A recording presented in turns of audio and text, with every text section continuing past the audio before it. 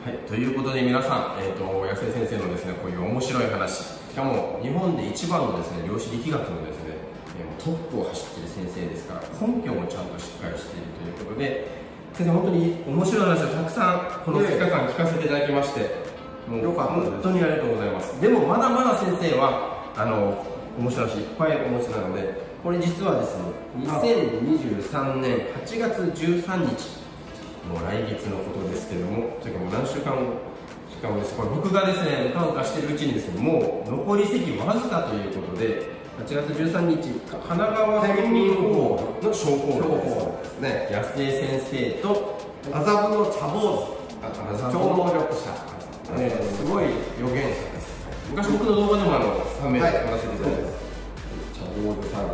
ん。あ、違う名前でこれやってるんですか福茶さんでいいんですか福茶でいいんですが、もう僕がね、ずっと麻布の茶坊主と言ってきたものあ、それで、そちらの方が有名な方。なるほど。ということで、安井先生と、えっ、ー、と、福茶さんと、はい、えっ、ー、と、僕でですね、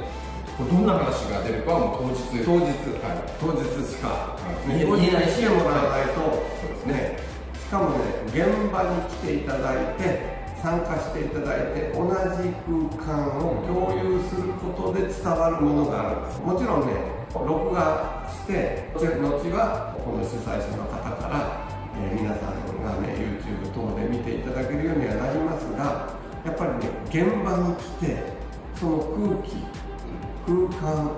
場を感じ取っていただくことで仏郎さんのね素晴らしい何かね本質が乗り移ってくるんです。僕に素晴らしさなんですけど先生たちのね。でも共有同じ空間を共有する贅沢って本当に贅沢なんです本当に贅沢。申し訳ないですけども動画はワンテンポ遅れるし、はい、伝わあ情報量があんまり伝わらない。そうなんです空気感もあれば、はい、もうやっぱ人間って五感を超えた皮膚からの感覚もあるので、はい、やっぱり当日来てほしい。当日来てほしいんですが残念ながらねあと残席50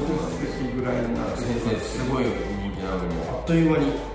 430席がもう残り50席ですよ皆さん。もう